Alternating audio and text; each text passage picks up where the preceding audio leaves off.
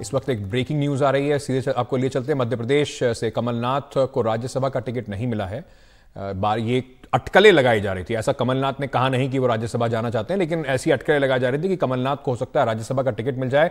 कांग्रेस ने अशोक सिंह को राज्यसभा का उम्मीदवार मध्य प्रदेश से बनाया है। वहीं अजय माकन को, जो इस वक्त कांग्रेस के ट्रेजरार हैं, उन्हें कर्नाटका से उतारा गया है मैदान में। रेणुका चौधरी तेलंगाना से राज्यसभा की उम्मीदवार होंगी। ये इस वक्त की बड़ी अहम जानकारी आ रही है।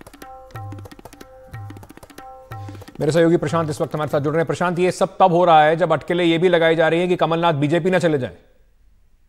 देखिए अंकित, आपने शुरू में ही कहा, जो लिस्ट आई है अभी कांग्रेस की दूसरी लिस्ट है, उसमें जो बाकी नाम है, वो एक्सपेक्टेड लाइंस पे है। अजय माकन को कर्नाटक से सीट दी गई है। ये चर्चा थी कि अशोक अजय माकन को राज्यसभा भेजा जाएगा भेजा जाएगा, क्योंकि पिछली बार भी उन्हें हरियाणा से टिकट मिला था, लेकिन वो कांग्रेस के ऑफिशियल उम्मीदवार होते हुए भी चुनाव हार गए थे। बाकी सभी नाम एक्सपेक्टेड लाइंस पे हैं, लेकिन कमलनाथ, आपने बिल्कुल ठीक कहा, ये अटकलें काफ़ी दिनों से लग रही हैं कि कमलनाथ पहले लीडर ऑफ़ अपोजिशन बनना चाहते थे, मध्य प्रदेश में वो उन्हें नहीं उन्हें नहीं बनाया गया, और अब वो राज्यसभा में की सीट चाहते थे अपने लिए, और वो चाहते थे कि अपने बेटे को जो अभी भी छिंदवाड़ा से लोकसभा सांसद हैं, वहीं से उनको टिकट दिया जाए। ऐसी भी खबरें आ रही थी कि पार्टी चाहती है कि कमलनाथ छिंदवाड़ा से खुद लोकसभा का चुनाव लड़े, लेकिन चाहते थे कि राज्यसभा का सीट मिले, लेकिन अब उनको टिकट नहीं दिया गया है।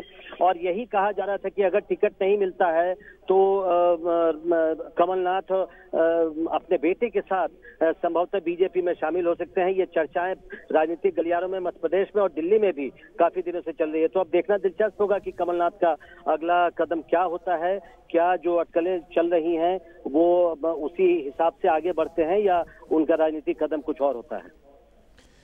अब से कुछ दिन पहले कमलनाथ ने भोपाल के अंदर कांग्रेस के एमएलए के साथ एक डिनर भी किया था। अब एक लौती कांग्रेस में मध्य प्रदेश के अंदर जो लोकसभा की सीट है, वो छिंदवाड़ा कमलनाथ के बेटे नकुलनाथ वहाँ से सांसद हैं।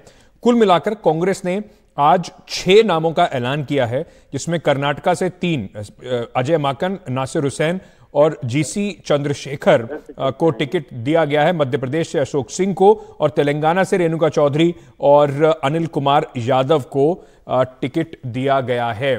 तो कांग्रेस ने अपने छह उम्मीदवार घोषित कर दिए।